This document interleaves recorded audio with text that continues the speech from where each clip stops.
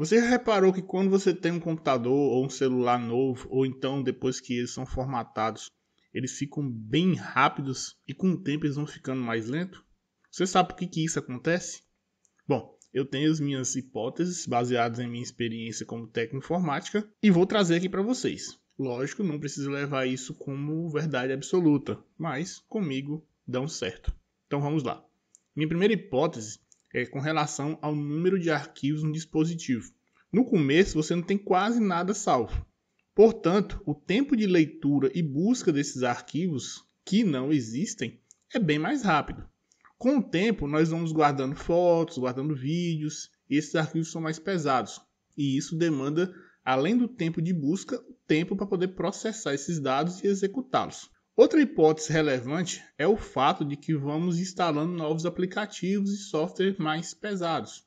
Muitos aplicativos, por mais que não usemos, estão lá é, executando em segundo plano, e isso compromete o desempenho, pois eles estão abertos e ocupando memória e processamento.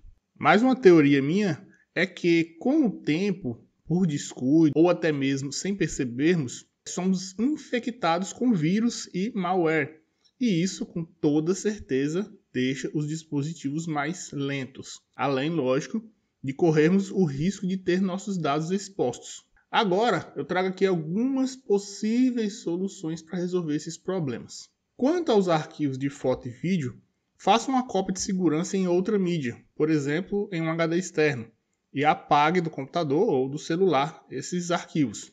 Com certeza, isso vai melhorar muito o desempenho do dispositivo. Outra alternativa é verificar quais programas estão instalados no aparelho celular ou no computador e fazer uma análise se há realmente a necessidade desses programas instalados.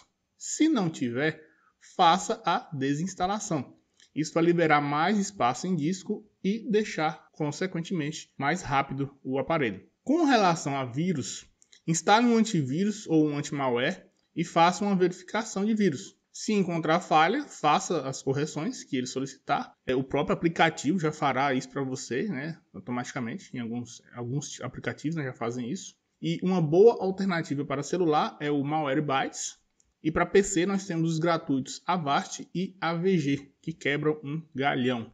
Aqui no canal eu estou sempre trazendo dicas rápidas como essa para ajudar a resolver seus problemas. Peço para você clicar no gostei, compartilhar esse vídeo para os seus amigos nos grupos de WhatsApp e, lógico, não esqueça de inscrever aqui no canal. É inteiramente grátis. Um grande abraço e até o próximo vídeo.